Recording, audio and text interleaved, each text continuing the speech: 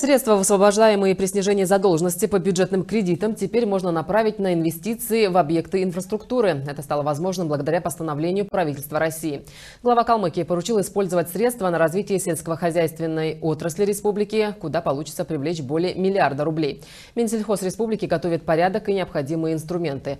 Поддержка фермеров и развитие сельхозтерритории – основные направления народной программы «Единой России», которые вошли в федеральные программы. Сельское хозяйство – основная отрасль нашей республики республики. Для Калмыкии она имеет особое значение, и мы продолжим оказывать помощь нашим предприятиям всеми возможными способами, отметил Бату Хасиков.